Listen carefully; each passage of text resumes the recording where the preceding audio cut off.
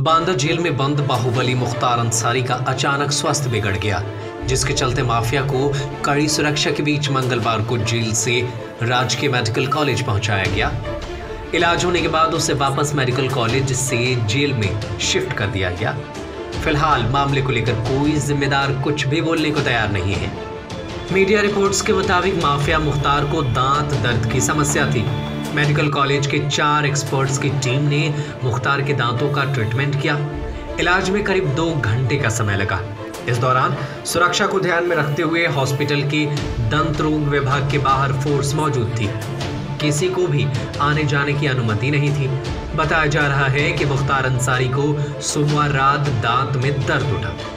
इस पर उसने जेल अधिकारियों से इलाज की बात कही। दर्द होने की वजह से मुख्तार रात भर सो भी नहीं पाए। हालाँकि जेल में माफिया को दवा दी गई थी, जिससे उसे कुछ आराम मिला। वहीं मेडिकल कॉलेज के प्रिंसिपल ने बताया कि विधायक मुख्तार अंसारी की रूटीन चेकअप के लिए तीन दिन पहले तीन डॉक्टरों की टीम जेल गई थी। तब उन्होंने दांत दर्द की शिकायत बताई थी।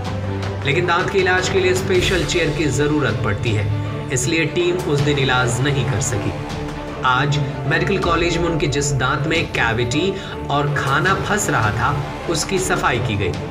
गौरतलब है कि बाहुबली मुख्तार अंसारी और 7 अप्रैल को पंजाब से यूपी जेल लाया गया था, तब से वो जेल में ही रह रहा है। आपको बता दें कि मुख्तार अंसारी को जेल में मेडिकल कॉलेज जिस रूटीन से ले जाया जाना था, वहाँ पर जगह जगह पुलिस फोर्स को तैनात किया गया था।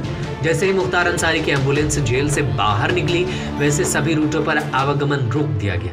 मुख्तार अंसारी की सुरक्षा व्यवस्था कुछ इस प्रकार थी, जैसे पंजाब की रोपड़ जेल से लेकर बांदा जेल में शिफ्टिंग की गई थी।